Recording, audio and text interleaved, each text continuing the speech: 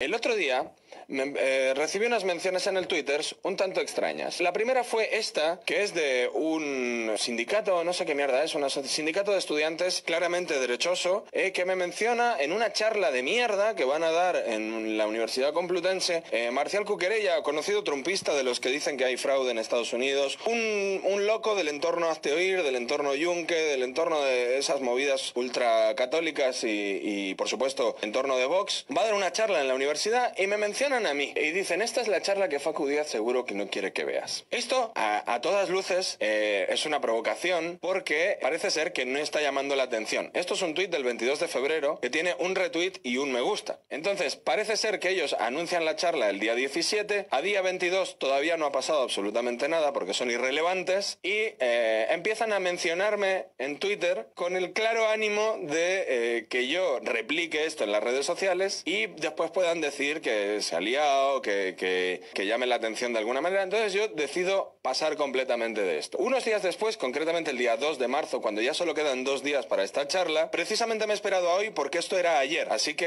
eh, ya no va a haber posibilidad de que eh, pase nada en esa charla. Dos días antes de esa charla me llega otro tuit, en este caso de José Manuel Menéndez, que este ya directamente es un tipo de Vox, es un tipo conocido de Hazte Oír, una activista eh, contra el derecho al aborto, en fin, entorno ultra, otra vez, nacional católico, ultraderechista. Esta es la charla que no quiere que veas ni escuches, eh, ni Facu Díaz, ni ya, empieza a mencionar a Femen, a no sé quién, y vuelven a poner el cartel de la charla, eh, como diciendo, esta gente no quiere que la veas y toda la movida. Sinceramente, yo, a mí me daba exactamente igual, pero no paré de pensar en que me estaban mencionando precisamente buscando que yo replicara de alguna manera esto y ejecutar un plan perfecto con los cuales Vox se victimiza muchísimo, que es intentando hacer algo que sin repercusión del otro lado no pueden vender como un evento eh, que está en los márgenes, que es eh, algo que no quieren que escuches, lo que no, no nos dejan decir, esto es lo que no quieren que veas y toda su mierda de discurso de outsiders y de una supuesta persecución que viven. La cuestión es que yo decidí no darle ninguna bola a esto porque pensé, si no le doy bola y nadie se entera, esto va a ser un puto fracaso y se va a quedar ahí y ya está. Y no van a conseguir lo que quieren, que es que haya follón alrededor de esto. Como esto fue ayer, investigué un poco más y resulta que esta gente, que por cierto es una asociación universitaria hasta ayer tenía 10 seguidores en el Twitter, hoy ya tiene 700, no tenían un aula para hacer esta charla. Lo saben desde hace mucho tiempo porque están promocionándola desde hace semanas con un cartel donde pone que la charla es en la cafetería de la Facultad de Derecho de la Universidad Complutense de Madrid. En la cafetería de la Facultad de, de Derecho de la Complutense de Madrid no se pueden hacer charlas y menos en esta situación. No puedes juntar a la gente ahí a dar una conferencia, a dar una charla y mucho menos en una situación como en la que estamos en Madrid. Ellos lo saben perfectamente, pero como no se ha liado de ninguna otra manera, confían en que se líe así, haciendo algo para lo que no tienen permiso, en un lugar en el que no es, en el que no, no, no procede hacer eso. Entonces lo que pasó fue que lo hicieron y que por supuesto apareció el decano de la Facultad de Derecho y la Policía Nacional y les dijo, señores, no pueden juntar aquí a tanta gente en una cafetería con un fulano que está de pie hablando y explicándoles que, que no está la situación como para eso. Ellos mueven mucho este vídeo Porque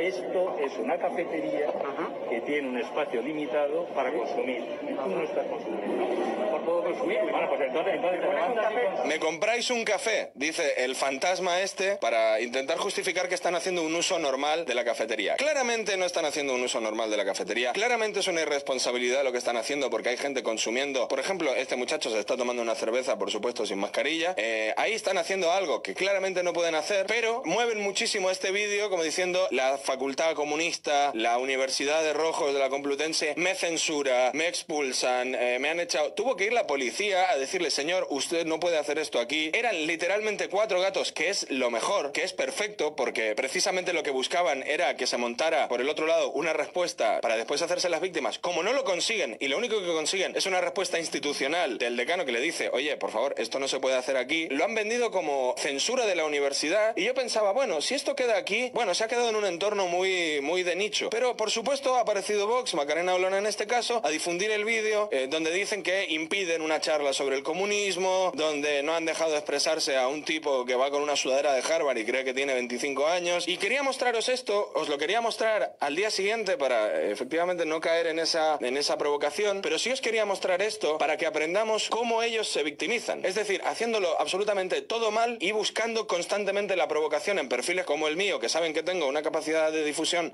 tremenda en las redes, para después decir que les han censurado, que les han expulsado. Así trabajan. Y pueden ser cuatro ultras como Cuquerella y compañía, pero después quien replica este discurso de la censura es un partido que está en el Congreso y que vive y se alimenta permanentemente de fingir que están siendo perseguidos y que lo que hacen, hostia, nos lo prohíben por todos lados, no me dejan hacer las, eh, las charlas. No, señor, usted no tenía permiso, usted se ha metido en una cafetería. Podían haberlo hecho perfectamente al aire libre, por ejemplo, en cualquier parte del campus de la facultad y seguro que no habrían tenido ningún problema, pero han ido, han ido a un sitio donde no lo podían hacer que se encuentren con esta escena, graban un vídeo muy cortito de muy pocos segundos donde el decano les dice, señores, ustedes no pueden hacer esto y ya tienen el relato de me están censurando, soy una víctima del comunismo y toda la hostia. Así funcionan, así trabajan y si se quedara en lo que se quedaba antes como cuatro flipados de hazte oír, que es lo que son, todavía tendría cierto sentido mantenerlo al margen. Pero como ya tienen una respuesta institucional, creo que sí hace falta comentarlo y hace falta dar una respuesta y explicaros cómo ha funcionado el asunto desde el principio.